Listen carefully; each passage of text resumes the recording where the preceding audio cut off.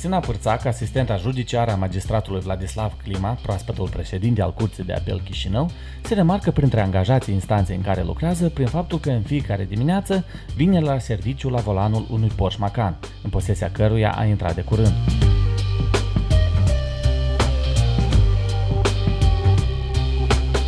Totodată, pe rețelele de socializare, sub un pseudonim, asistenta etalează un mod de viață luxos.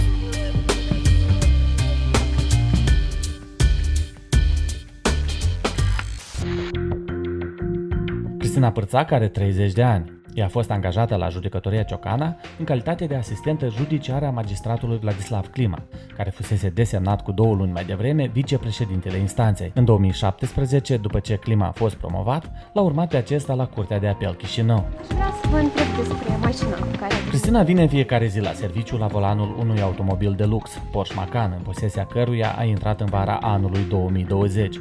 Automobilul, care are numere personalizate, costă la prețul său de piață cel puțin 40.000 de euro, echivalentul salariului de funcție al asistentei judiciare pentru următorii 8 ani. Pe rețelele de socializare, sub un pseudonim, Cristina publică periodic imagini cu sau de la volanul mașinii sale de lux.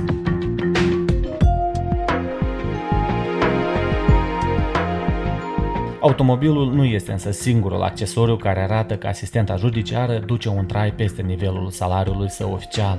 Pe același profil de pe rețelele de socializare descoperim fotografii sau clipuri video din cele mai scumpe localuri din Chișinău, din vacanțe sau dintr-un apartament luxos din capitală. Declarațiile de avere și interese ale funcționarii Cristina Pârțac nu trădează însă stilul de viață etalat de aceasta. În 2014, an în care venea în sistemul public, Cristina raporta venituri oficiale de 32.000 de lei, adică 2600 de lei lunar. Tot în 2014, Cristina Părțac declara că a devenit proprietara unui automobil Chevrolet Captiva, fabricat în același an și cumpărat cu 413.000 de lei, dar și că deținea în două conturi bancare deschise în 2014 și 2015 aproximativ 18.000 de lei și în anii următori, Cristina Părțac a continuat să indice venituri modeste. În 2015, ea declara venituri lunare de aproape 5.000 de lei, iar în 2017, salariul lunar era de circa 6.000 de lei. În 2018, venitul lunar salarial declarat de Cristina Părțac s-a ridicat la 7.000 de lei, iar în 2019 a primit 8,4.000 de lei pe lună. În 2018 și 2019, asistenta judiciară de la Curtea de Apel Chișinău a declarat că a beneficiat de două donații în sumă totală de 20.000 de dolari de la tatăl și fratele ei, Grigore și Alexandru Părțac.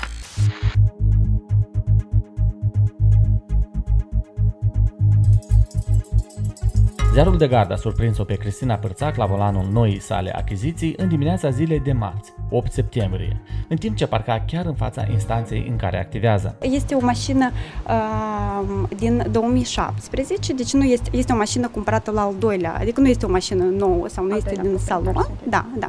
Și valoarea contractuală a ei a fost 39.500. Dar am și vândut primul automobil care l-am declarat, declarat. este uh-huh. da, din 2014 contractat și achitat în rate. Este un uh, Chevrolet Captiva pe care l-am înstrăinat la suma de 300.000 de lei și respectiv micul suport care am, am adăugat. În rest o să achit ratele lunare. Chiar, iată, acum am achitat la data de 4, la data de 5 am achitat uh, leasingul și la data de 3, puteți verificați, am primit un transfer de 1000 de euro de la tăticul meu din, uh, din Portugalia ca să pot să achit acest uh, leasing. Cristina susține că de când activează în justiție, tatăl și fratele său ar fi ajutat-o financiar cu mai multe ocazii, inclusiv la achiziția automobilului de lux. Eu pot să vă prezint contractul de leasing care a fost contractat la data de 4 august și a fost și un suport din partea tatălui meu. Anul acesta am făcut 30 uh, de ani și a fost uh, și un cadou din partea fratelui meu și a tatălui cu care avem o relație foarte bună. Și da, um, sinceră să vă spun, până acum nu am indicat aceste donații, nu m-am considerat o persoană care aș prezenta interes, dar am putea să facem o interpelare la Victoria Bank ca să vedem toate transferurile din Bine, hai să zic, dacă vă interesează din momentul în care am devenit funcționar public. Păi, dar uh, dumneavoastră cum trebuie să declarați toate donațiile? Adică bine, erau discuții inițial că urmează a fi declarate sau nu, că sunt donații, pentru că fiind și doctorand, este foarte complicat să supraviețuiești doar cu salariul de asistent pe care îl aveam inițial 3600, 3800, 4000 și atunci, sigur, am avut suportul tatălui meu. Contractul la doctorat depășește suma de 14.000 de lei anual și asta, de fapt, și este scopul părinților și pentru asta a plecat și tatăl meu în anii 98, cred, în, a emigrat în Portugalia. În perioada de când activează ca asistentă judiciară, Cristina Pârțac a avut pe parcursul anului 2018 două tentative de a accede în funcția de judecătoare, dar ambele au ieșuat. Membrii Consiliului Superior al Magistraturii au decis să îi respingă cererile pe motiv că aceasta nu deținea atunci 5 ani de activitate în domeniul juridic, condiție necesară pentru a accede în funcția de judecător. Sunt uh, doctorant, ultimul, în anul 4, probabil despre asta este vorba. Și ați vrea să accedeți în funcția de judecător, am văzut că ați avut uh, două Am renunțat la această idee. De ce? O să mă abțin să răspund, dar da, inițial sigur că am venit în uh, sistem să activez cu acest scop. Mi-am dorit foarte mult să fiu judecător. Am uh, început activitatea mea încă în 2013, uh-huh. Mhm. în instanța de judecat activez din 2014 uh-huh. și în momentul în care am considerat că am acumulat experiența de 5 ani, am încercat cel puțin să acced inițial la concurs. E vorba de examenul la Institutul Național de Justiție, care se organizează în fiecare an. CSM-ul, urmând procedura legală care este, au constatat că nu am suficient stagiu, respectiv nu am acces la acest examen. Grigore Pârțac, 61 de ani, tatăl asistentei judiciare din cadrul Curții de Apel Chișinău, despre care Cristina afirma că a susținut-o financiar în ultimii ani, nu deține afaceri oficiale pe teritoriul Republicii Moldova, fiind doar proprietarul unui apartament de 55 de metri pătrați din Chișinău, achiziționat încă în anul 2006.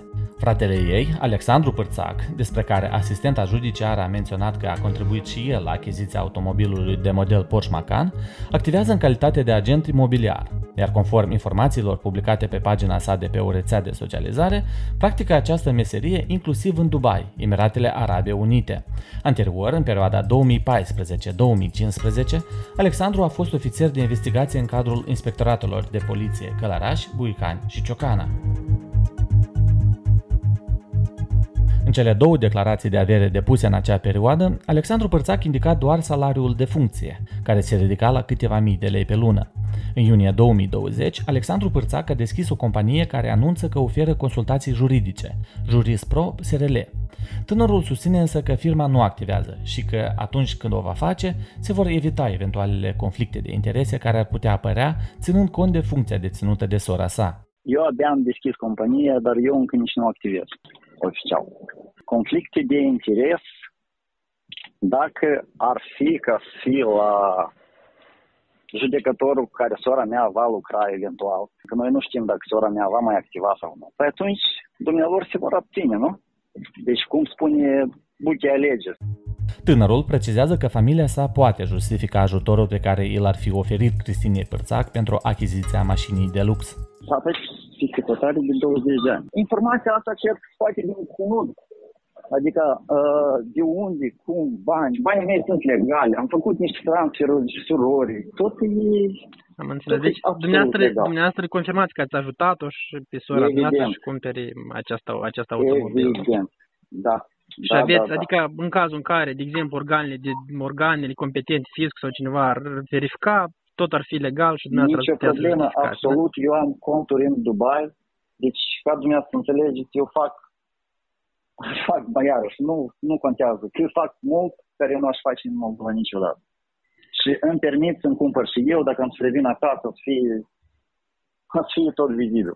Pentru că Cristina Părțacă este asistentă de mai bine de șase ani, l-am întrebat și pe Vladislav Clima, noul președinte al Curții de Apel Chișinău, dacă știe din ce resurse și-a procurat aceasta noul automobil. Te-am întrebat-o chiar de unde și a spus nu fac griji, că e mașină la mâna a doua, din vânzarea precedentului automobil, care am avut de la momentul angajării în Curtea de Apel și aici luat în leasing, am înțeles că prin cu ajutorul rudelor familiei, familia am înțeles că majoritatea psihotare și o finanțează. Și au spus că la declarația de avere care va urma în anul viitor, va declara și surse de venituri și respectiv proveniența în mijlocul transport, nu are ce ascunde, consider că e transparent.